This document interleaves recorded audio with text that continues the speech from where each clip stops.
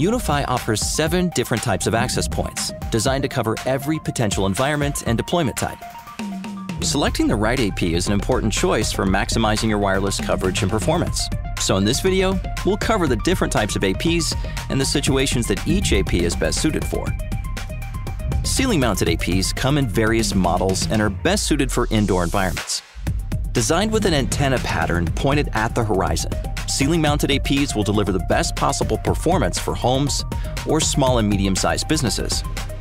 Next, we have in-wall APs that mount on the wall similar to an electrical outlet, allowing them to be more discreetly placed. Therefore, in-wall APs are well suited for hotels, museums, or any indoor environment where having low-profile, unobtrusive devices is preferred. In-wall APs also come with a built-in PoE, or Power over Ethernet switch, capable of providing a fast gigabit wired connection, as well as power to PoE compatible devices. Mesh APs are small and sleek, yet very powerful.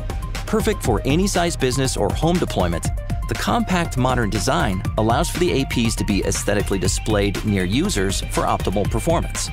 Mesh APs are highly versatile, able to be mounted on a wall, ceiling, pole, tabletop, extending your wireless coverage, transitioning indoors to outdoors for large office campuses, universities, and beyond.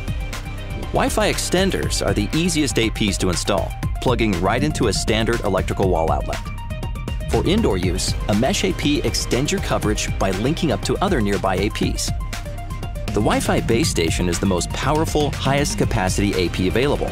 Indoors or outdoors, the base station shines in high-density environments like event centers and stadiums. Any environment that requires large areas of coverage for large amounts of people. A building-to-building -building bridge is an efficient way of creating a powerful multi-gigabit wireless link between two locations.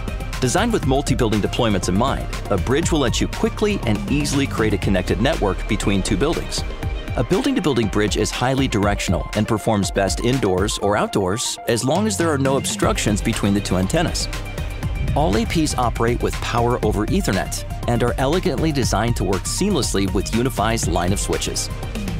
Let's take a quick look at all of those options again. Wall or ceiling mounted APs are all powered by PoE, can handle 150 to 1500 concurrent clients, and have a maximum power consumption of up to 31 watts.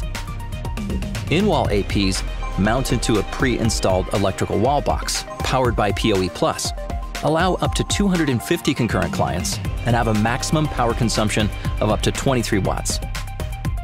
Mesh APs can be mounted on the wall, ceiling, tabletop, or pole, are powered by PoE, allow up to 192 concurrent clients, and have a maximum power consumption of 10.5 watts.